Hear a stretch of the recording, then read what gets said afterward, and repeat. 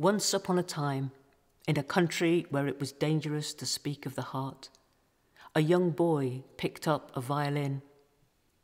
He filled its silent belly with his landlocked dreams, shadows that wait on the stair, the tug of desire. He filled it with wind shivering the Danube, the prison bars that held his father, a grey wolf, and the hawfinch that would come in spring. And then he played.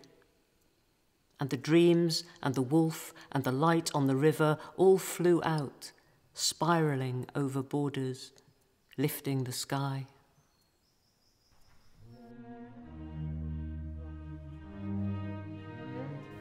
My musical life started in Budapest, Hungary, where I was born. When I was eight years old, I started to play the violin, and my parents were very, very happy when I showed a lot of talent for it. Everybody told that I am very talented. They were happy because my father was in prison after the 1956 revolution against the Soviet Union, the communist system, and they knew that if I'm choosing to be economist like my parents been, um, it's, it's a big, big disadvantage that the father is politically an enemy. But in the arts field, we could be somehow freer. Yeah. Did you ever have a desire to be a solo? No, never been a, never. Psychologically, I never been this somebody who goes alone on the stage and showing the knowledge. I always were, was attracted to chamber music. So when I was 18 years old, I got into the Franz Liszt Music Academy in Budapest. Growing up and studying in a communist system, I'm sure it's positively affected us as musicians. One of the things I remember, we knew that in the, in the society, of course, in communist system, in the society, you cannot express freely opinions. But we knew, and the teachers also told us, outside of the music academy, you have to keep your mouth shut.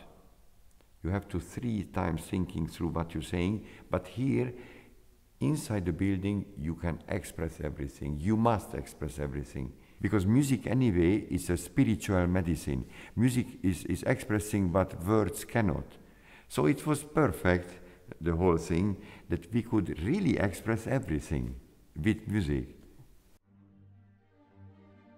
In the Music Academy, in the 1970s second half part, was a kind of golden period with phenomenal, genius teachers. And then when I was 19, we formed the Takács String Quartet. I am the luckiest guy in the world because I met three phenomenal friends and musicians. So we won big international competitions whilst we were still in the music academy. And between the age of 19 and 36, when I played 17 years in the Takács Quartet, we played more than 1,000 concerts all over the world in four continents. So we had a beautiful life. It was very hard work, very hard life, but beautiful, fulfilling. In my private life, I, I did not have really serious um, affairs because I, I was not 100% concentrating on music making. I just non-stop um, thought about just music. Suddenly, once in Tokyo, during a concert, we played Bartok Fifth String Quartet and I felt that I cannot use the whole bow. Two, three weeks later in United States during a concert, I felt, oh, I can use even less bow. The technique is going down uh, drastically, the ability. So this was my, I, I, showed it now. This was the problem which I devel developed. In 88 came, never in my life, never could solve it. This is one of the big defeat of my life. Suddenly I was so blocked that got up and went out, stopping a concert is catastrophe. I mean, it's like nightmare, imagine. I was a kind of successful person who almost everybody liked very much, suddenly I found myself in a situation not playing very well, and everybody is frustrated with me, even myself. October 20th was my very last concert in the Takács Quartet in London, Law Society. Haydn, Bartok, Beethoven was the program, but it, it, I was struggling, and, and we knew it's not going on. It's impossible. So we agreed in a, in a kitchen, in our friend's kitchen, in the Holland Park, 1992, end of October, one of these days, that I, I am leaving the quartet. It was obvious. So it was, it was painful.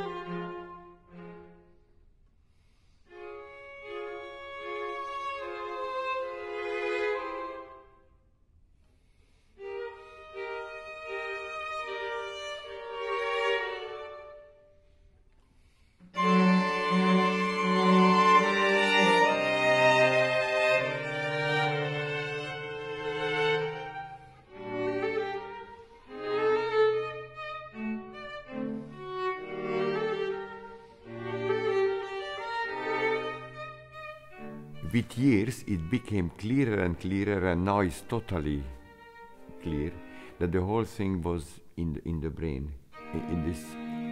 Now i know today i know that i could not solve many problems and i think maybe the brain the subconscious was sabotaging um, the, the whole muscle functions. So the subconscious became my enemy. Yeah. you know, the mind can sabotaging and, and blocking the physicality.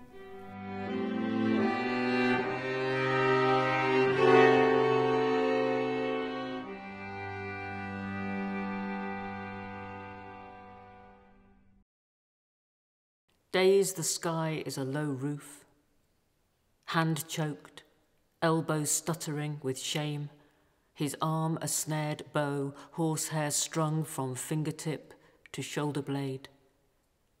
Perhaps these days he is a violin, tuned so tight one breath would split the fingerboard, fell the bridge, snapped strings whipping.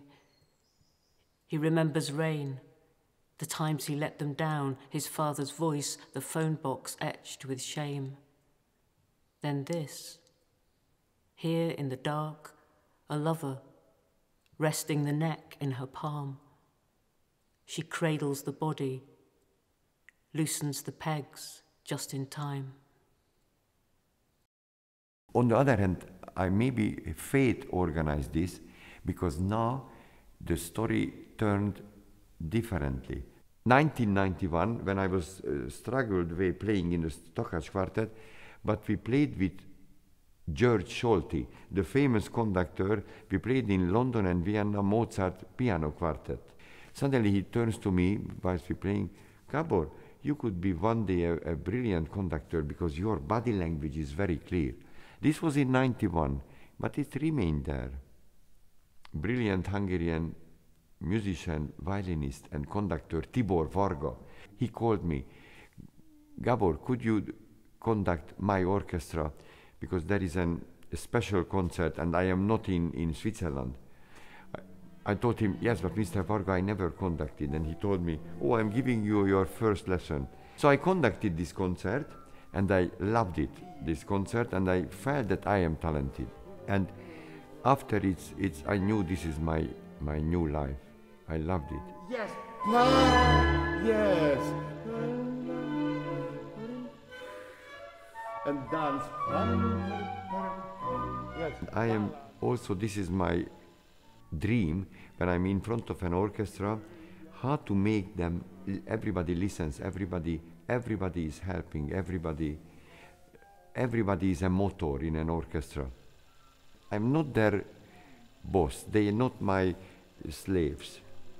Of course, I am the, the leader, but I am just inspiring them, but I am one of many. I try to be, I try to be using this, this human experience, friendship, helping each other. Super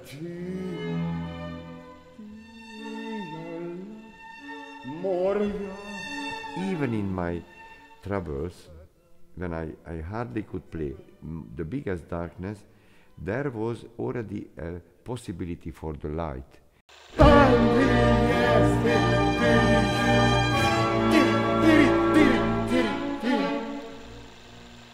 Quasi Beethoven.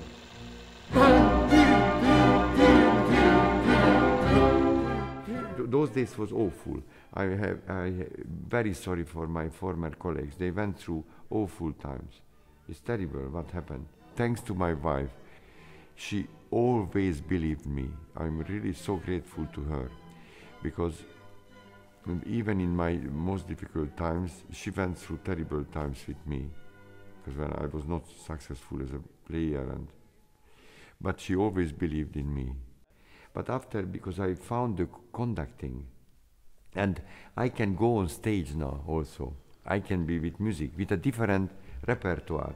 The, the orchestra repertoire is phenomenal.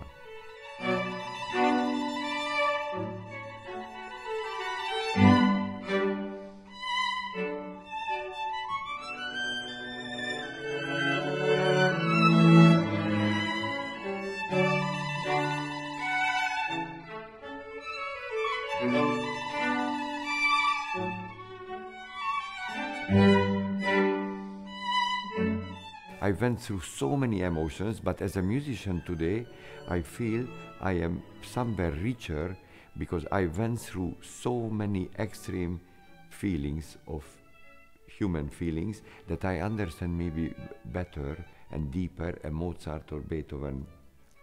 One of the psychiatrists who went through many, many times in Budapest, he became my friend and he told me he or she goes to a cinema, theater or concert they going back to childhood suddenly because they want to forget their problems, they want to go into the fairy tale.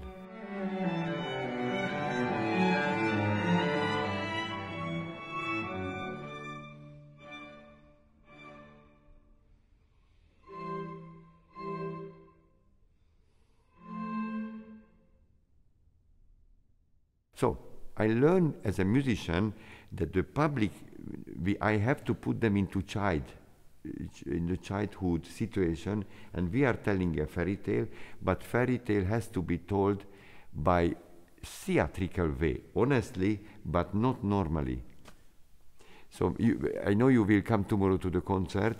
I, I, will try to put you into childhood, and we will tell a fairy tale with each note.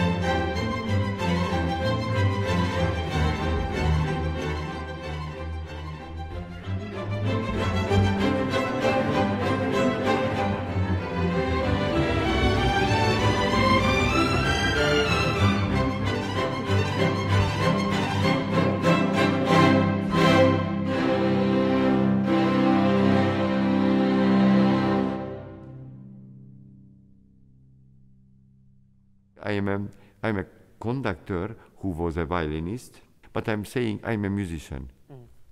That I am not, uh, uh, I'm still a musician. Yeah, yeah, it's a whole thing.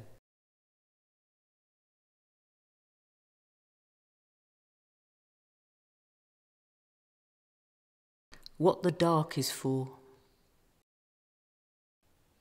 To rest the sky, to wrap the glare, to help us better see the light, to hide inside, to hold despair, to rest the sky, to wrap the glare, to lose the edge where stone meets air,